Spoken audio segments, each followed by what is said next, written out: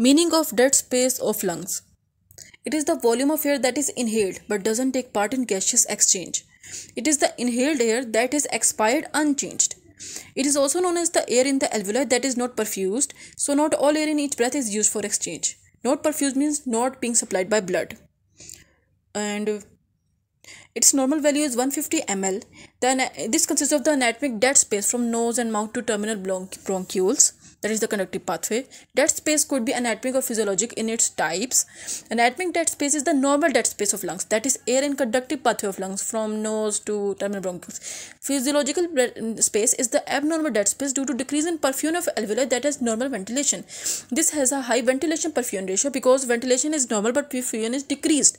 This is the normal alveoli who has normal air but the blood is decreased, perfusion is decreased. So this has a high ventilation to perfusion ratio.